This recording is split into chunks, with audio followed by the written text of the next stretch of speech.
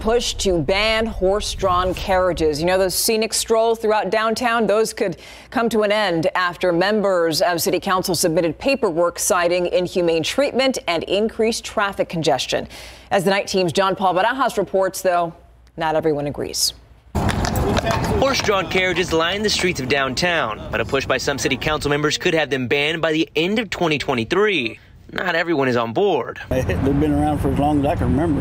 That's part of San Antonio. I know, I feel like a lot of people come here for that. It's Texas. Everybody wants to get on a horse in Texas. District 2 Councilman Jalen McKee Rodriguez and District 3 Councilwoman Phyllis Viagran cite inhumane treatment of animals and negative environmental impacts due to traffic congestion as the reasons to put an end to the business.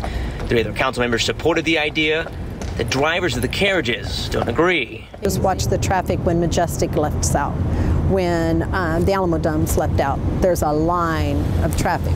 Horses aren't causing that traffic. A carriage driver at Yellow Rose also told us horses see vets regularly, are fed three times a day, and don't come out if it's 95 degrees or hotter. As for the strain of the job, this horse weighs almost 2,000 pounds. He can carry, pull three times his body weight.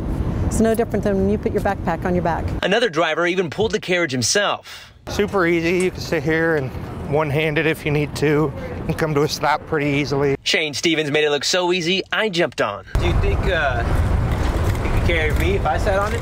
Oh yeah, go for it. I still don't feel anything, so...